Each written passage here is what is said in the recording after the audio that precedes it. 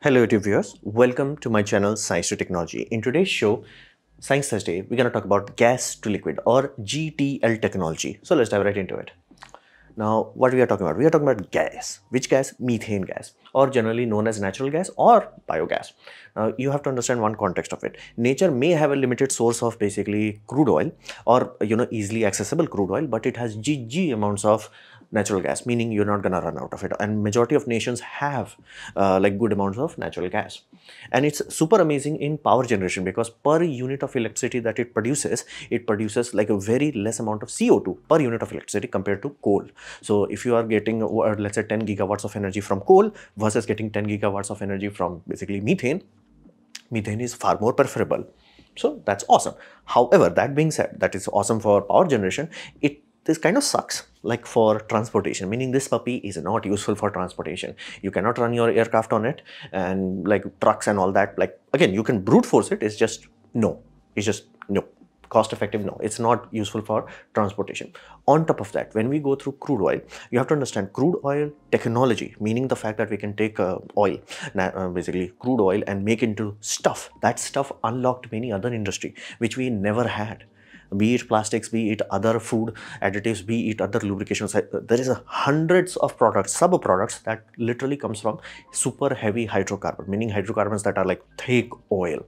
So those things are very important from a nation's point of view. It's not just like, oh, we have hydrogen, uh, basically we have fuel, energy, done. No, you, if you have food, you need packaging surprisingly large amount of packaging depend on fossil fuel products. So you have to understand that we need boatload of paraffin wax, we need idiotically large amount of lubrication oil or sometimes also called as base oil. So whenever you see Mobil and all that, what is that? Is base oil plus some additives equals whatever the heck you put in your car.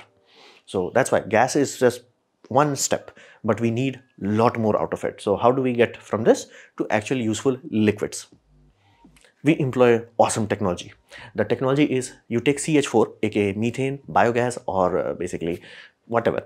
Uh, you make it into steam methane reforming meaning you have generally three sources you have natural gas sources coal gas biomass these are the three sources you send it into synth gas system so you get output wise hydrogen plus carbon monoxide basically you take one molecule of uh, ch4 one molecule of h2o you get carbon monoxide and 3 h2 so right now if any tom dick and harry is driving hydrogen car and saying i am clean no they are not they are running on this so majority of planet Earth's hydrogen supply for whatever purpose you are using, be it rocket, be it vehicles, generally come from this natural gas being steam reformed.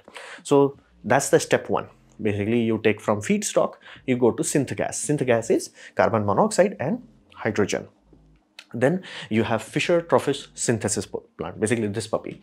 Now this puppy uh, makes sure these two things, these two couple basically CO and H3, they get married and you have to force their marriage. So how do you force that marriage? The most thing, amazing thing for marriage is high pressure and temperature with catalyst. Catalyst controls a lot of the variables of it, but it's not consumed because it's catalyst, so it's not a consumable part. You just have to worry about pressure and temperature. And then output of it, basically you started from feedstock, you made it in a synthegas, you Fischer-Tropsch processed it, that gives you hydrocarbon chains that are very long. Now, what will be equal to? It will be equal to what we classify as hydrocarbon wax, basically liquid and it can be used in diesel vehicle directly and that's what in World War II was used, uh, but it's a liquid. Now, can it be run on like as is, like you take it, use it as a fuel? Yes, not ideal, but it can be done. Then it goes to third stage that is cracking and isomerization. Now be mindful, these processes are company specific, meaning uh, what I'm talking about, I'm talking about shell company. Other companies may have a little bit different, but core logic will remain the same. So they do cracking and isomerization, basically take the hydrocarbon chain and kind of process it and then they get the right output that they are seeking. At that point in time, you have to understand this does consume energy and I mean a lot of it. So if you have a 10 megawatt of chemical energy coming in from basically methane side, LNG side or CNG side, uh, you're not going to get 10 megawatt uh, energy output in liquid form. You're going to get like, you know, minus 25% uh, to minus 40%. There is a very serious energy penalty that you have to understand and this technology was developed very early on in Germany, but there was no actual user. It was like a cool trick bro. Like you know cool trick. But uh, during world war ii germany ran out of basically oil suppliers. At that point in time they were like okay what the hell are we gonna do? Uh, germany was in the same state like india is right now is that we have gg amounts of coal uh, but not that much uh, fossil fuel. So they literally turbocharge this process. So you have 2n plus 1 bracket H2 plus NCO, carbon monoxide, and you get CnH2n plus 2 plus NH2O, basically water output. And uh, it works. It's a thing that was tried in war economy. It works. It's one of those things that does work. Now, why the heck we don't convert all our coal into basically this? Well, some people have actually thought, now be mindful that carbon dioxide would be emitted. It's not just like voila. It's not like you take coal and make it into basically methane and now you have the benefit of methane. No, you have the same pollution, basically same carbon dioxide footprint of burning coal because again, the steam reforming process takes a lot of energy and dumps carbons output. So be mindful it does reduce energy. So uh, grand total energy wise from an energy point of view it's generally better to if you have coal supply use coal supply as is. But in some scenarios like what usa was trying uh, it's like i'm talking 10 years ago they were like very seriously looking into it. And because be mindful this energy penalty became much better. Like back in the days it was like very very bad. Again it was a lab technology. It was like we can do it but what's the point? Now it's like ah, we can actually try to do it usefully and again some people are claiming with certain uh, temperature pr uh, pressure and catalyst combination they can get this very efficient like very very amazingly good efficiency.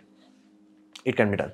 So if they are stuck in a situation where USA have to be independent of OPEC, they may be like, hey, we just have our coal, convert that coal into basically kerosene, so it becomes jet propellant, and then they're like, we're good, bro, we're good. So the technology is not new. It's just understand it goes into multiple process. Three process for most of the time whenever you are listening to gas to liquid technology. First step is synth gas production. Second gas is Fischer-Tropsch product. Third is cracking and isomerization. And then you have your final product. So this is the core technology. Nothing magical, but kind of amazing that we can take light hydrocarbon, marry them into heavy hydrocarbon. Then we come to the quality aspect of it. Now, every nation, be it India, be it China, be it every Tom, Dick and Harry else, every nation is working their ass off to improve emission. I'm not talking about CO2 or H2O that is coming out of uh, basically your exhaust pipe, but things that you can see because again inherently you should not be able to see water vapor you should not be able to see uh, carbon dioxide then what the heck you see these things are what we classify as soot emission sulfur nitrous basically not good things now, where the heck those things are coming from? Like they cannot be just made out of thin air, especially really sulfur. Where the heck that's coming from? It's coming from fossil fuel. Whenever you are talking about fossil fuel, crude oil, crude oil has very serious amount of sulfur infused into it. Meaning, no matter what kind of processes you do, generally you will have some sulfur uh, coming out of your like you know crude oil refinement process. No matter what you do, there will be some there and countries are trying to reduce that sulfur because again if we can reduce that sulfur exponentially let's say there is x amount we can drop it by let's say 10x it would be amazingly clean. Even diesel vehicle will be clean. It's just that if we can get that sulfur out. Now benefit of uh, basically GTL technology because it's literally like how you get the purest form of water. You evaporate water, you condense steam. That's how you do it because that's the easiest way to leave everything behind. GTL is the same technology. So what you are getting out of natural gas well, is it contaminated? Absolutely. But it has same level of contamination as natural gas? Hell no. Uh, basically fossil fuel? No but it's contaminated. But when you liquefy it to transport it, uh, basically LNG, LNG because of the temperature, almost no, no, contamination is there. Will there be few molecules? Absolutely. Will there be like percentage wise? It will be zero. Now from that you are doing all the processes, so you're getting clean. Basically, even your base oil that you are getting out of it, be mindful, these oils do burn in engine, a little bit, very little bit, but do burn. They do, again, piston wall is there, it's going like this. So there will be something left here, right? It will interact and that's why it consumes uh, the fuel uh, fuel oil is consumed and lubrication oil is also consumed. So if your base oil is exponentially cleaner, the sooty output will go down exponentially less. And that does translate. They have run uh, basically experiments on it and the outcome is there are certain synthetic oil whenever you're talking about uh, that is made from basically GTL technology. It lasts four times longer compared to non-system because of the low sulfur content and contamination and they can quality control it. You are basically making the molecule so you can control it. At that point in time, even though the, it's twice as expensive because of the longevity, it's like, shut up and take my money. Shut up, take my money. So it's getting seriously interesting even for companies who are like, you know, from a financial point, it does not make sense. But if you look at the holistic system analysis, it's like, hey, desirable. You, if you want to have a truck fleet and you do not want to contaminate the air, you can look into GTL, especially if you have a very large supply of natural gas, which majority of the countries do. Then we come to the naughty aspect of it, politics. Now, crude oil is the lifeblood of all nation. You have to understand. All nations have crude oil as a background. Like why the heck European Union did nothing in 2014? Again, they had no other alternative. Now, what's the difference between 2014 and 2022? Well, now the European Union has 20 plus percentage of renewable energy and it's growing. And be mindful, this is exponential growth. In only last 20 years, it grown from 0% to 22%. So they know that in next uh, few years, they can really push to 30% and then 40, eventually reaching 100%. So at this point in time, whole global politics is going around crude oil. Now, crude oil itself is useless. Like if I give you crude oil, a barrel of crude oil, is it there any machine that can use it? Even large shipping containers would be like, bro, if you put this, no, just no. Even that will not work. So it's useless. But many uh, the refined products that basically after you do crude oil distillation, the things that is what we classify as daily essential meaning your nation can survive without electricity cannot survive without this puppy daily essential like really really important and for multiple fields not just energy and transportation also for food packaging and other things also so it's daily essential now big nations be it india be it china we generally invest a lot of money into refinery abilities meaning we can just buy crude oil from russia crude oil from OPECs and be like done we do not need to worry about anything other than that. And storing crude oil is uh, kind of economical also. You store crude oil and like if some days like, like there are some really high price hike, we are like, okay, let's not buy crude oil today. Let's use our repository, convert it into whatever we need and voila, so many nations do that. And again, you can notice this in uh, this war scenario where uh, Russia, first there was a price cap put into crude oil. Now be mindful to make sure that OPEC does not go YOLO on us. So they were making sure that if X amount is needed to basically produce the damn thing, you must have some amount of profit. But again, if you have too much profit, Putin goes boom boom. So to make sure Putin does not go boom boom, you reduce the profit, not zero it, because the moment you zero it, nobody will do work on it. So they're like, enough, that enough supply is there and it also keeps OPEC in check and also reduces Russia's ability to fund the war. Now, it did not cause that much effect as people thought. Now, the reason for that is there are 200 nations on this planet. Majority of the nations do not have the ability to take crude oil, make it into liquid hydrocarbon, useful liquid hydrocarbon, be it jet fuel, be it uh, basically petrol, be it diesel, engine diesels. Uh, these things are expensive. Now, that's a second cap that has been placed basically uh, i think in february that was placed and that's finally starting to impact. And you must have heard recently uh, european people were saying that india is like act, acting as a backdoor. That's what india was doing. India was buying crude oil and was like hey any nations that want uh, basically refined products not crude oil refined products yes take it and go. Refined products are far more profitable from seller's point of view of course you refined it. It's useful far more expensive. But again crude oil already had a price cap so india bought it and refined it. And you can understand like how expensive that technology is. Pakistan does not have it. Pakistan have nukes, but they cannot refine that much uh, basically. Of course, there are some small scale, but as in like take care of a nation, no. So, many, uh, so what does this mean? That simply means many nations also find themselves in stupid position where they have gas, but no crude oil. For example, Australia like it does have some like almost everywhere has some crude oil but compared to the natural gas you may be like i have one crude oil and 1 million natural gas that's how big difference could be. So what the hell Australia to do? Well, again, Australia is investing a lot of money into gas to liquid technology. And if they really do it, like the idea is they want to develop a system that's just a gas well technology. You drill a well. On that platform itself, you create liquid fuel. Be mindful, but that's the easiest way to transport. So if they had to transport it based on gas pipeline, super expensive. LNG, hyper expensive. And uh, if they just had to make dense liquids out of it, voila, super easy to so that's what they want to do. And be mindful, it is expensive, but it is independent source of essential oil products. You can replace majority of your energy from solar and wind, but you cannot replace your goddamn lubrication oil. And lubrication oil is not just for transportation sector. Many sector, basically industry equals lubrication. There is no scenario where you can run an industry without lubrication supply. And I mean continuous supply, like GG amounts of supply, like train full of it kind of supply. So that's the politics aspect. So uh, GTL technology is really, really like it's a background technology, but it's like more and more important political wise also. Because again, you could be like, hey, you give me a gas pipeline. Rather than give me crude oil you will hey give me gas pipeline. Because okay let's say they have surplus of gas pipeline they will sell you gas at lower price at that point in time gtl allows you to get everything out of it without too much hassle. Another benefit is that if let's say australia really did this they will not have same environmental damage as other nations did. Why? Low sulfur content so politics is kind of interesting about this. And be mindful, that's why everybody loves to buy crude oil if your country is big enough and rich enough and smart enough to take crude oil and make it useful things. So that's the politics aspect of it. That's why GTL is the next big thing. And be mindful, it can also be done with coal. So if you're really pissed off with the world and you're like, hey, I have coal, the end, you can do it. So what we can expect in the future? Now, same way I talked about basically gas pipelines, it's not only a technology for today because be mindful, every nation is learning the hard ways that we have to switch from basically fossil fuel to renewables. One simple reason for that, cost stability. Solar farms are getting cheaper. Wind farms are getting cheaper. The energy they are selling to the grid per basically per unit of energy, uh, you know, dollar per unit of energy, it's getting lower. While coal, natural gas, nuclear, everything is going up. So we have no other choice. We have to switch into it. And recent year, as in like 2022, proved the whole world that that also gives you balls. And every nation likes their balls. So everybody is doing that. Now, wouldn't that make all this infrastructure that we are building gas to liquid useless? No it will make it awesome for us today and also for renewable future. Why? You just have to replace the natural gas side of it with biogas. Now, where the heck this biogas is coming from? Everywhere. You have human, like let's say for example, India.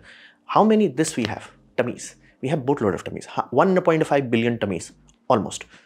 That's a lot of poop that we create. If you do not do anything to it, you just like don't do anything to it, you're still producing this puppy, methane, a lot of it like methane is so toxic in terms of greenhouse uh, potential this exceeds CO2, meaning by 80x. If one molecule of uh, carbon dioxide is in the atmosphere, how much damage it can cause, multiply that by 80, that is one molecule of CH4. That's why you will always see any plant that is dealing with CH4, basically uh, biogas plants or some uh, natural gas well refinery. If they have a leak, their safety policy is burn it. Like that's how toxic this puppy is. Toxic not as in like, oh, you're gonna suffocate and all that jazz. Like it's not toxic in terms of uh, neurotoxin. It's toxic in terms of greenhouse emission. It's much brutal. That's why the potential of damage, C uh, methane is same level as CO2. Even though we are producing exponentially more CO2, methane is that brutal because everything that is biological. Just I'm talking about tummies. Now let's add agriculture. Every time you twing a crop, there is waste behind it. Again, things that you will consume, that will have another cycle afterwards. But the things that are attached to it, those things will also decay. They will also release uh, basically methane. So we have to, it's in our best interest from a nature's point of view to collect all of that, make it into methane, like as in like biogas, and then run it through all this process because the output of doing it all that is rather than CH4, we have CO2. And imagine a world where we still had the global warming simply because we took care of this, but did not apply brake on that. That would be stupid. Like, why did humanity die? Yeah, somebody forgot uh, to worry about farts. So you really don't want that. So it's a very good technology that we are developing, gas to liquid technologies. And again, you cannot run a fighter jet or jumbo jets or anything like that, anything serious on anything other than super heavy hydrocarbon, basically kerosene. So what people are doing right now, a lot of people are doing R&D on low energy processing oils, basically Australia. There is a possibility that if you do not really need a very heavy hydrocarbon, let's say you do not need to go down very deep in the hydrocarbon chain, you may be able to get improve the efficiency, energy input and energy output exponentially better. So at that point in time, it's like, hey, if 10 megawatt came out of the ground, I almost got 9 megawatt of useful diesel. That would be amazing. If that happens, Australia is just like, bye you all, bye you're going to do that. And selectable output for volatile market is desirable. For example you may not process it. You may not go to the cracking stage. You may be like okay let's just take this wax store it. Again many countries do that. Whereas like they have a store and depending on the market volatility is like they're like they'll figure it out. So it's a desirable thing. And it's a really amazing tool for methane emission. Because it does not like let's say we have gg amounts of solar gg amounts of wind and we have hvdc links. We are connecting uh, integrated connection and then we have pumped hydro closed loop pumped hydro, so we do not have biological disaster because of it. Everything is sorted. But again, you people are still eating, people are still pooping. So what the hell you gonna do? You collect it, you process it, you make it into biogas. What the hell you do with biogas? You generate energy out of it. That's the cheapest thing to do. But then it leads the point. It's like, hey, sun is already producing energy, wind is already producing energy. Again, this will act as a buffer. Then you also have pumped hydro as a buffer what the hell you do? You convert it into stable, long-term storable thing. So you instead of like, oh, in winters, what the hell we gonna do? Like, dude, we have enough fuel. Don't worry about it. And it can pile up over years, years, years. You can keep doing it. So that's why it's amazing technology to develop. Not only for fossil fuel era, also for renewable era. Because we have to take care of this puppy. This is a naughty puppy. We have tiny emission, but this puppy is very naughty. So this was my presentation on basically gas to liquid technology. Hopefully you have liked it, learned from it. In that case, please hit the like button, share it amongst a friend. That will help me a lot. If you didn't like it, didn't enjoy it, I urge you to press dislike, press it twice to show me extra disappointment. Please leave a comment because I do try to reply to all of them. Subscribe, press the bell icon if you're free. And as always, thanks for watching.